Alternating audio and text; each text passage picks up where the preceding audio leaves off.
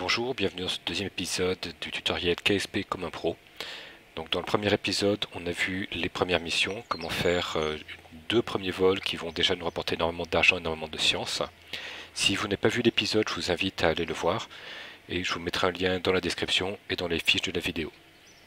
Dans ce premier épisode, il y a quelque chose que je n'ai pas mentionné, qui est la KSpedia qui se trouve ici en fait, qui est l'aide en ligne en fait de KSP, qui vous donne énormément d'informations très très utiles en particulier, ben, toute l'interface de construction est extrêmement bien expliquée, tout en français, je vous invite à aller faire un tour dans les différentes pages. Pareil pour l'interface de vol, comment utiliser la, navball, quels sont les marqueurs, comment cela fonctionne, c'est très bien expliqué. Et on voit aussi tout ce qui est relatif à l'orbite, comment ça fonctionne. En particulier ce que l'on va faire aujourd'hui, qui est la mise en orbite. Et on fera quelque chose de pas très beau comme ça, où je monte et après ça je me mets en orbite et euh, le Gravity Turn, comment faire ça proprement, qui viendra avec les prochaines missions. Donc comme vous l'avez compris, aujourd'hui on va aller sur euh, le Placez-vous en orbite autour de Kerbin, une mission qui rapporte à peu près 80 000 d'argent, plus les, premières, les achievements et tout ça. Donc on accepte tout de suite le contrat. Au niveau du KSC, donc il y a deux écoles. Soit euh, on upgrade le complexe aéronautique niveau 2, ce qui permet de faire les EVA, ce qui va nous rapporter plus de points de science. Soit on peut upgrader le contrôle de mission niveau 2 et la station de contrôle niveau 2 de façon à avoir les nœuds de manœuvre. Donc de mon côté, je vais faire le complexe aéronautique niveau 2. Voilà, donc je vais pouvoir faire euh, les, sorties extravéhiculaires dans l'espace, histoire de pouvoir récupérer un maximum de points de science. Au niveau de la science, le minimum dont vous avez besoin pour vous mettre en orbite, c'est les, euh, les trois premières colonnes en fait, celui de base, celle-ci et celle-là on va prendre la physiologie générale pour avoir le moteur LVT30 débrouillard. On va prendre la stabilité pour avoir les découpleurs radio TT38K. Et avec tout ça, je peux déjà faire une fusée qui sera capable de se mettre en orbite. C'est-à-dire que si je vais dans le bâtiment d'assemblage, je vais repartir de ma fusée début 3. Donc je vous rappelle que la capsule, on a enlevé tout le monoergol pour que ça soit plus légère. Je vais garder la capsule et son découpleur. Je vais enlever tout ce qui est en dessous. D'ici, en réservoir, je peux mettre 6 réservoirs FLT 200. 1, 2, 3, 4, 5 et 6. Un propulseur euh, LVT 30 débrouillard. Dessus, je vais mettre deux découpleurs radio TT38K. Alors, je vais les mettre dans l'axe sur lequel ma fusée va basculer je mets comme ça, comme ceci, puisque ma fusée va partir vers l'est et va basculer sur cet axe-là. ça, il n'y en aura pas un plus haut que l'autre. Et je mets également euh, deux RT10 pylons sur mes découpleurs avec une coiffe aérodynamique. Alors je vais abaisser un petit peu plus mes boosters, donc je les reprends, je les mets bien en bas ici. Et on va rajouter 4 euh, ailerons. Donc vous mettez bien 4, vous vérifiez que vous êtes en magnétisme, et si vous passez sur les boosters, vous verrez que ça va repasser à 2 en fait, puisque là la symétrie est automatiquement de 2. Donc l'idée c'est de mettre 4, de bien venir passer autour des boosters sur le tronc central, et de là d'en mettre 4 proprement le plus bas possible. Voilà. Donc cette fusée là, je vous l'ai partagée, elle s'appellera 02 Kerbin euh, Orbit 1A et ça, ça suffit déjà pour se mettre en orbite en fait. On démarre avec euh, les, boosters latéraux, on s'incline, euh, on monte droit pour les premières couches d'atmosphère, on s'incline légèrement après, on continue avec euh, le moteur spatial, et lui il a suffisamment de poussée pour aller vous faire arriver à 770 km, arriver dans l'espace et circulariser votre orbite. Par contre, c'est pas la fusée qu'on utilisera aujourd'hui. On va aller faire un design qui coûte un petit peu moins cher, qui est un petit peu plus puissant. Je vais vous montrer ça, mais qui nécessite plus de points de science. Donc au centre de recherche, j'ai encore un petit peu de science, je vais aller récupérer la physiologie avancée, en particulier le moteur LVT 909 Terrier. C'est un moteur qui est optimisé vide, c'est-à-dire qu'il a une très très bonne efficacité dans le vide en fait. Il ne marche pas dans l'atmosphère, mais il est extrêmement efficace dans le vide, c'est celui-là qui va nous servir à circulariser notre orbite. Je vais également récupérer euh, la partie sciences de base pour aller récupérer le Science Junior SC9001 pour faire un peu plus d'expérience quand je serai dans le, en orbite, loin, dans l'espace loin au-dessus de Kerbin. Et avec ça, on va faire un design qui coûte un petit peu moins cher. Donc pour ma fusée, je repars du Kerbin Orbit 1A. Je vais juste enlever tout ce qui avait été construit pour faire mon nouveau design. Avec un réservoir FLT 400, un propulseur LV909 Terrier. Je vais mettre un découpleur euh, TT12 dessus. J'ai besoin de trois réservoirs FLT 400. 1, 2 et 3. Et je vais mettre un propulseur LVT30 débrouillard. Vous avez deux propulseurs qui sont très proches, le LVT30 débrouillard et le LVT45 Geronimo. La différence du LVT45 Geronimo, c'est qu'il vous pousse un petit peu moins fort, il coûte un tout petit peu plus cher, mais vous pouvez orienter la poussée en fait. C'est-à-dire qu'il va vous servir non pas pour euh, vous voler droit, mais pour légèrement orienter la fusée et faire une courbe qui est beaucoup plus nette. C'est un petit peu ce qu'on a vu dans la, la Caespedia pour avoir une belle trajectoire d'orbite. Donc cette fusée ne serait pas stable par elle-même, donc j'ai besoin de prendre l'aileron. Je vais en mettre 3 pour être stabilisé sur mes trois axes le plus bas possible de la ma fusée. Et ce sera Carbine Orbit 1B, je vous la partagerai également. C'est à peu près ce modèle-ci qu'on va faire voler. Avec juste un petit détail en plus, c'est qu'on va rajouter l'Océan Junior. On trouve ici. Voilà. Donc c'est ce modèle-ci exactement qui va voler. L'idée c'est de décoller, de faire la mise en orbite pour le contrat. Une fois dans la mise en orbite, faire des sorties extravéhiculaires au-dessus de chaque biome de Kerbin pour faire des observations et récupérer des points de science. Aller faire le Science Junior, le rapport d'équipage, ainsi qu'une glaire mystérieuse, un thermomètre et un baromètre en orbite haute au-dessus de Kerbin, et de rentrer avec tout ça euh, sur, sur pour valider la mission. Donc on va lancer, alors côté équipage, je vais le faire avec GBD Ackerman. Euh, je pourrais prendre aussi un scientifique, mais j'aurais pas de stabilisateur, ce qui serait gênant pour cette mission. Donc là je vais rester avec un pilote, et un peu plus tard je referai une mission un peu similaire avec un scientifique et un module de contrôle pour avoir mon SAS. C'est parti,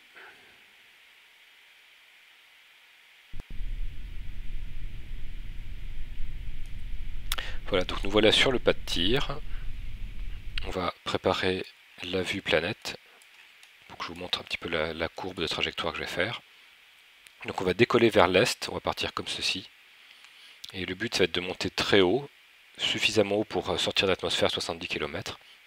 Et à 70 km de pousser latéralement pour en fait continuer la parabole de chute libre vais faire une chute libre qui tombe à côté de Kerbin, qui la contourne et qui tombe en permanence autour de la planète. On active la stab, réacteur pleine puissance avec W, et là je vais activer avec espace et faire D pour tout de suite me mettre un petit peu à 10 degrés. L'idée c'est de, ne pas avoir d'éléments qui retombent sur le Kerbal Space Center, et plus tard m'incliner beaucoup plus. Allez, c'est parti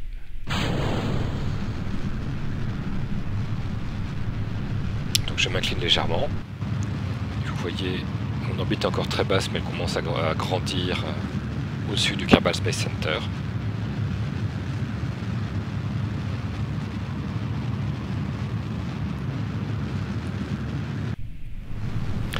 Là, je suis dans les couches les plus denses de l'atmosphère. En gros, de 0 à 15, à 15 km, c'est des couches très denses. De 15 km à 25 km, c'est des couches beaucoup moins denses qui sont propices à tourner le vaisseau. Et comme vous voyez, je passe le mur du son. Là, on voit quelques éléments atmosphériques sur la fusée. C'est lié à l'onde de choc parce qu'on a passé le mur du son. Donc là, je vais commencer à m'incliner un petit peu plus. Mais le frottement de l'air reste quand même sur une trajectoire assez droite. Vous voyez, ça, monte très haut. Donc là, je vais m'incliner au maximum. Et dès que j'arrive à 70 km, je vais arrêter le moteur.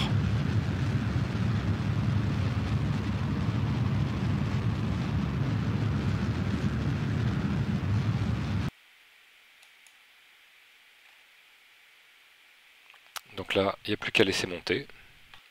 je vérifie qu'avec les frottements, je descends pas en dessous des 70, mais ça devrait suffire. On laisse monter la fusée, on va l'incliner pour qu'elle soit complètement de pour pousser un maximum sur le côté, pour pareil que mon orbite, qu'elle soit juste une petite parabole sur une parabole extrêmement large.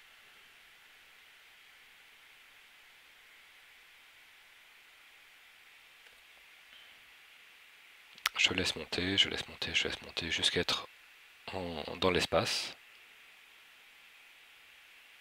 On va accélérer un petit peu le temps d'ailleurs.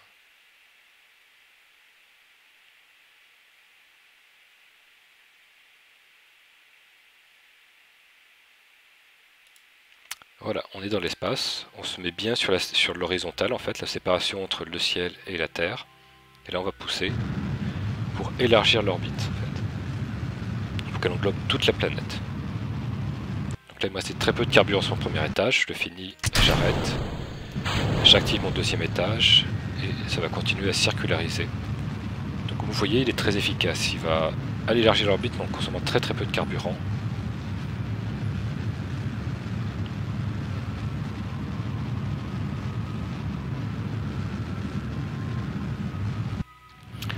Il y a à peu près deux minutes en tout de poussée pour que, euh, avec ce moteur-là et cette configuration de fusée, on prenne euh, toute la planète. On circularise bien autour de toute la planète.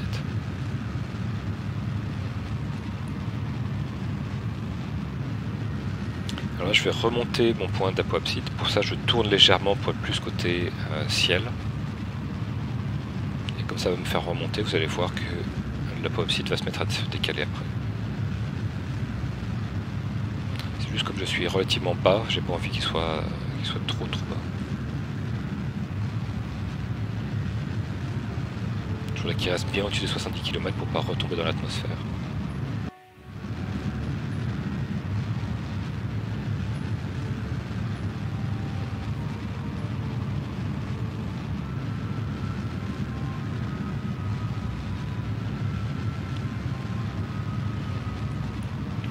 continue de On va englober quasiment tout carbine. Et vous allez voir apparaître derrière le point qui s'appelle le périapside, qui est le point le plus bas de l'orbite. Voilà. Je vérifie qu'il est bien au-dessus de 70 km. Et là, j'ai mes deux points au-dessus de 70. Donc là, je n'ai plus besoin de pousser, j'ai plus besoin de rien faire. Je sais que mon vaisseau va rester en orbite en fait. Il va continuer à tomber en permanence autour de la planète. Euh, ça me laisse du temps pour faire quelques expériences scientifiques. Donc je vais placer le vaisseau dans une configuration un petit, peu sympa à regarder pour la vidéo. Voilà. Alors pour les expériences scientifiques, j'ai rajouté un mode. Je ne sais pas si vous avez remarqué que j'ai deux icônes qui sont rajoutées ici. C'est un mode qui s'appelle X-Science. Je vous mettrai les liens dans la description sur comment récupérer ce mode et comment l'installer. C'est un mode qui va me permettre d'avoir une liste de toutes les expériences scientifiques que j'ai faites et celles que je peux faire avec ce vaisseau. Alors c'est très pratique parce que ça, liste un petit peu l'expérience, combien de points de science je pourrais gagner. C'est pas nécessaire, c'est-à-dire qu'on peut tout à fait jouer sans, il n'y a aucun problème. Mais là ça va me permettre d'aller de biome en biome pour faire mes mesures. Et ça va éviter que la vidéo dure trop longtemps euh, si je devais le faire à la main. Donc là je peux retrouver toute l'expérience et les rechercher. Et j'ai une deuxième fenêtre qui est ce que je peux faire ici et maintenant. Donc là, le rapport de Clarine me montre que je l'ai déjà fait. L'étude des matériaux, je ne l'ai jamais faite, mais je vais la garder pour que je sois en orbite haute, puisque je ne peux pas la relancer. Et mon rapport de sortie extravéhiculaire, je ne l'ai jamais fait tout de suite des océans de carbine. Je vais tout de suite sortir, lancer mon rapport de sortie extravéhiculaire, le conserver, et avec B, j'embarque dans ma fusée, je réactive les stabilisateurs et je me remets proprement. Voilà, donc là on a fait notre première expérience dans l'espace. On va continuer jusqu'à ce que l'on change de, biome. Donc le mode va m'arrêter en fait. Voilà, vous avez entendu le, le bloop, il m'arrête et il me prévient qu'on a changé de biome. Donc là on est au-dessus des côtes, on va sortir. Ah, on est repassé au-dessus de l'eau en fait, donc je suis sorti. Donc c'est pas grave, on va continuer de tourner et on repassera bien au-dessus des côtes, faut pas s'en faire pour ça. Alors les côtes et les, limites sont assez, euh, sont assez bien découpées. Du coup, on reste très peu de temps dessus des côtes quand on tourne autour des planètes. On va continuer, je ne me fais pas de soucis pour ça. Encore côte, je sors, je fais mon rapport. Voilà, cette fois c'est bon. On va continuer, les prairies, je sors, je fais rapport au-dessus des prairies, observation des prairies depuis l'espace, Alors là, c'est les côtes, c'est déjà fait. L'océan, c'est déjà fait. Côte, prairie. Ah, j'en ai raté un là, c'est passé trop vite. Côte, océan. Ah, les hautes terres. Donc ce sont les hauts plateaux de Kerbin, je fais un rapport également. J'embarque. On va continuer comme ça, histoire d'avoir un petit peu tous les biomes. Donc là je voudrais faire le désert également, les hautes terres c'est fait. Badland c'est du marécage, je suis pas assez suffisamment euh, au-dessus suffisamment longtemps pour faire le rapport.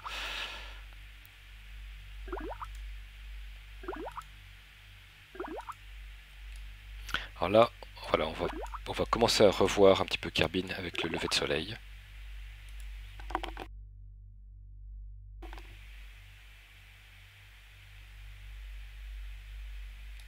Au-dessus de l'océan. Et là, je vais passer au-dessus des montagnes. Donc vous voyez, on a très beau cratère ici. Et je passe au-dessus des montagnes normalement. Voilà, montagne, je fais mon 2VA, mon rapport, je récupère.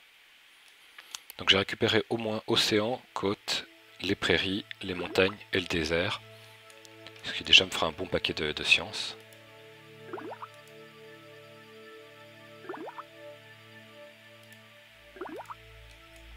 Donc le désert je sors. Je fais le rapport. Et je réembarque. là j'ai déjà fait un bon paquet de rapports. Ce que je vais faire maintenant c'est aller jusqu'en orbite haute.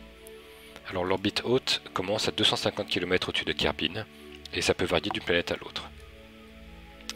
Donc là ce que je vais faire c'est qu'à mon point de périastre je vais pousser de façon prograde, donc vers l'avant. Et en gagnant de la vitesse, ça va faire monter mon périastre qui va se trouver plus haut en altitude. Si je pousse euh, rétrograde sur un point, ça baisse le point opposé que ce soit l'apoastre pour le périastre ou le périastre pour l'apoastre. Donc là, je vais avancer un petit peu le temps poids sur mon périastre.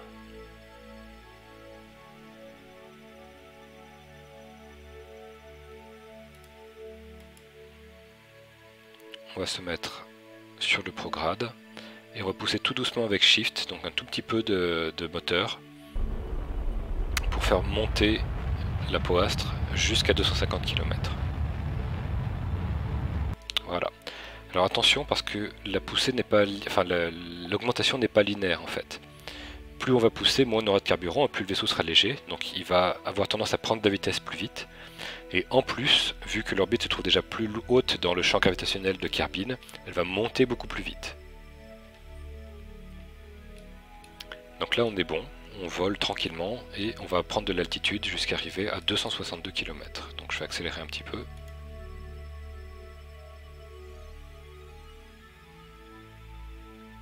Donc une petite pensée à GBD Kerman pour être le premier carbonaute à aller aussi loin dans l'espace, à réussir sa mise en orbite et aller jusque dans l'espace lointain.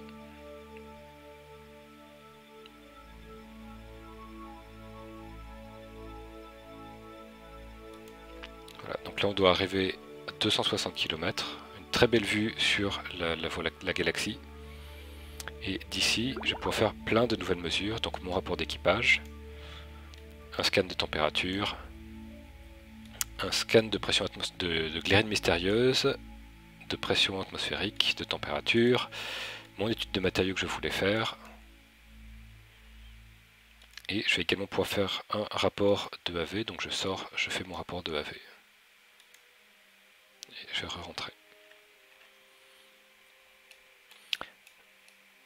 Donc à partir de là, je vais vous voir euh, revenir sur Terre, et pour ça, il va falloir que je pousse depuis euh, mon point vers le rétrograde pour rabaisser. Donc ce que je vais faire, c'est que je vais même poser sur le rétrograde, j'active la stabilisation, et je vais faire redescendre le périastre pour qu'il soit entre 50 km et 45 km en fait. Si vous descendez plus bas que 45 km, vous allez rentrer tellement fort dans l'atmosphère que vous risquez de fondre en fait. Il y aura trop de frottement et vous allez fondre vos équipements, voire votre capsule. Si vous passez au-dessus de 50 km, l'atmosphère ne sera pas suffisamment dense, elle vous freiner un tout petit peu et vous risquerez de faire plusieurs tours de cabine avant de redescendre. Donc là pareil, je vais euh, pousser très légèrement avec Shift et je vais même faire une sauvegarde avant quick save. Alors n'oubliez pas de faire des quick save pour les réentrées, pour les, orbites d'injection de translunaire ou transplanétaire, parce que c'est le genre de manœuvre on peut très vite se planter et on finit dans le décor. Voilà, avec la magie du montage, je suis revenu sur mon point de sauvegarde. Alors en fait, 45 km c'est un petit peu bas même, c'est-à-dire que les mystérigous qui sont, enfin les, les mystérieuses qui sont très très bas près du bord de la capsule ont tendance à surchauffer et à exploser à fondre. Donc on va essayer de rentrer un peu plus proprement dans ce euh, deuxième essai. Alors il n'y a aucun souci à reprendre votre sauvegarde, à faire exploser des choses tant que vous apprenez quelque chose.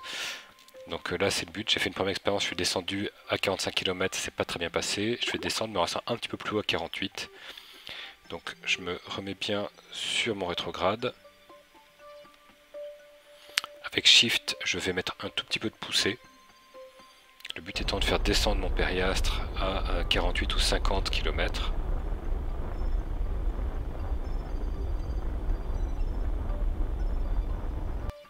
Voilà, on est à 48 011 mètres. En espérant que ça passe. Et je vais alors avancer le temps jusqu'à ce que ma capsule soit de nouveau en visibilité euh, visible du soleil en fait. Qu'elle soit éclairée.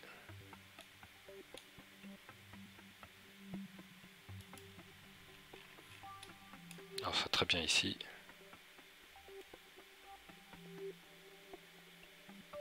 Et je cherche mon normal. Il se trouve ici. Voilà. Donc là, mon Scène Junior est en dessous de mon découpleur, donc je vais le perdre. Ce que je vais faire, c'est que je vais sortir, récupérer toutes, mes expériences avant. Donc je récupère, je récolte les données du Scène Junior, donc il me prévient que je pourrais plus refaire l'expérience, mais c'est pas un problème. Celle de la glérine mystérieuse, je vais récolter les données. Pareil pour les autres. Le thermomètre, le baromètre qui est derrière, et même les rapports d'équipage en fait, je vais tout récupérer, et je les ramène à l'intérieur de mon vaisseau. Donc l'idée c'est que maintenant tous les, éléments qui m'apportent des, points de science, donc tous les rapports sont avec moi à l'intérieur du vaisseau. Donc même si j'ai expériences qui explosent, c'est pas très grave, je perdrai un petit peu d'argent, mais je perdrai aucun point de science. On va continuer jusqu'à réentrer dans l'atmosphère.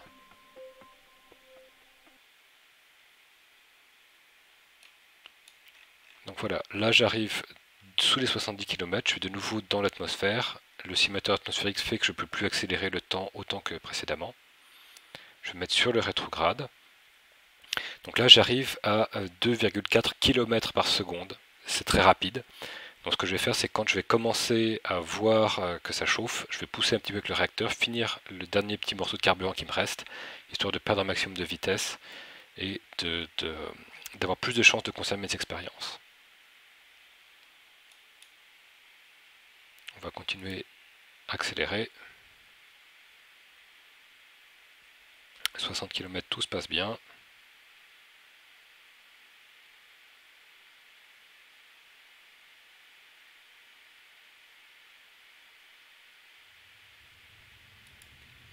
Alors 50 km, je commence à voir quelques éléments atmosphériques. Je vais me mettre bien sur le rétrograde. Donc je suis à 2,5 km seconde. Et je vais freiner en fait. Pousser pour ralentir et essayer de retomber dans le désert.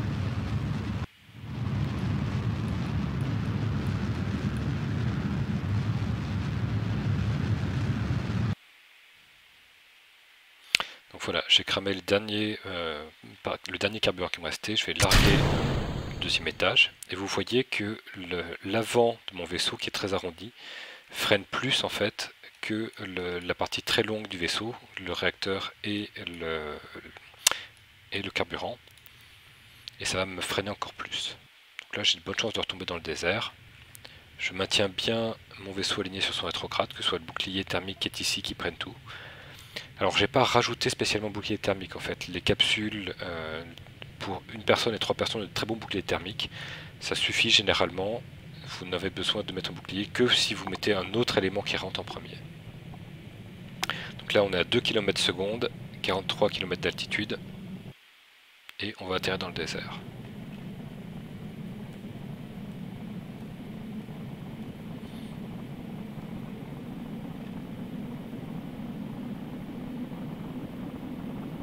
Les jauges que vous voyez apparaître, ce sont des jauges de d'échauffement de température. C'est-à-dire que les expériences sont exposées au frottement et au réchauffement. Du coup, la température monte, si elles arrivent au bout, elles explosent.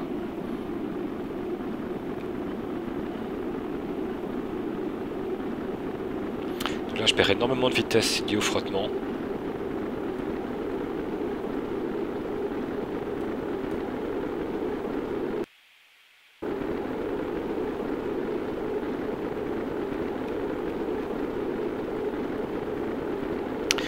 les réentrées font partie des manœuvres les plus difficiles, en fait, celles où il y a le plus de risques que ça se passe mal.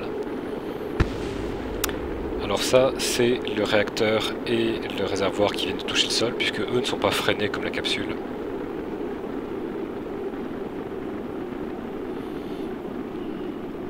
Alors donc j'ai suffisamment freiné, je me suffisamment dense pour m'arrêter. Je vais pouvoir armer le parachute. Je vais voir s'il me reste... Alors, j'ai jamais fait de rapport d'équipage au-dessus euh, de l'atmosphère supérieure de Carbine. Je vais faire ça. Alors l'EAV, je vais pas le faire maintenant puisque là je vais beaucoup trop vite, je serai emporté au-delà de mon vaisseau. Par contre, je vais accélérer. Ah, j'ai pas fait de scan de température, j'en profite.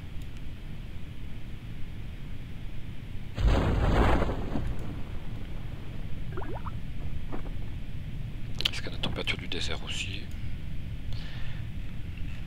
Donc là mon parachute est semi-ouvert.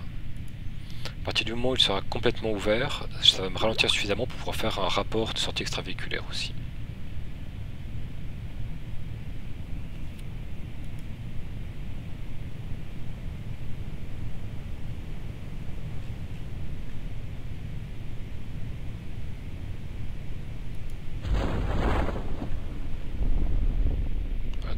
j'ai le parachute complètement ouvert, ça va me freiner jusqu'à 4 mètres secondes, à peu près 4 ou 5 mètres secondes. Ce qui est suffisant pour faire une sortie extravéhiculaire. Donc je peux faire le rapport de AV, je peux récupérer les différentes données que j'avais déjà mesurées.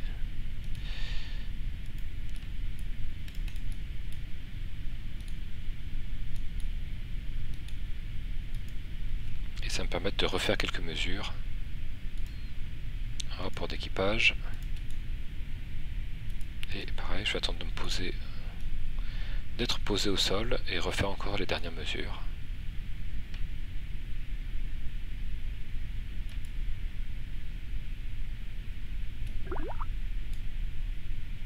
Donc là je suis posé, pareil je suis posé sur la porte, je vais faire tourner la capsule, hop.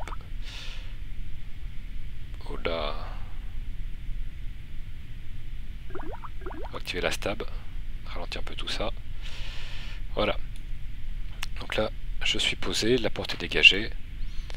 Je vais pouvoir faire un scan de température, de pression, de pression atmosphérique.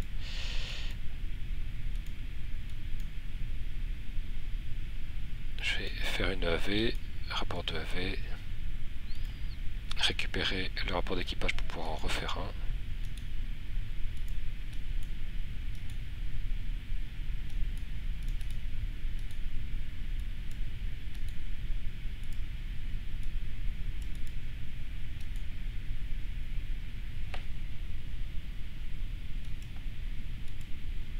Et voilà, je peux récupérer mon vaisseau.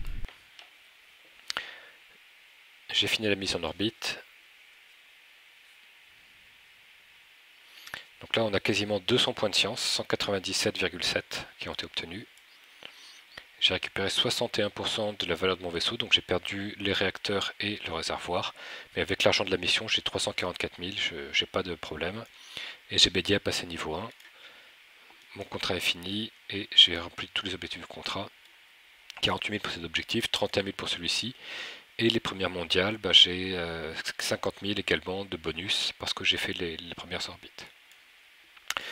Voilà, merci pour cette vidéo. Je vous poste les craft files, les modes et tous les éléments dans la description. Je vous remercie pour votre attention et je vous donne rendez-vous pour le prochain épisode qui parlera de construction un petit peu plus avancée. Ce ne sera pas encore euh, waouh, mais ce sera déjà ça et euh, on va aller sur la Lune, on va aller marcher sur la Lune et sur la Lune et revenir. Merci.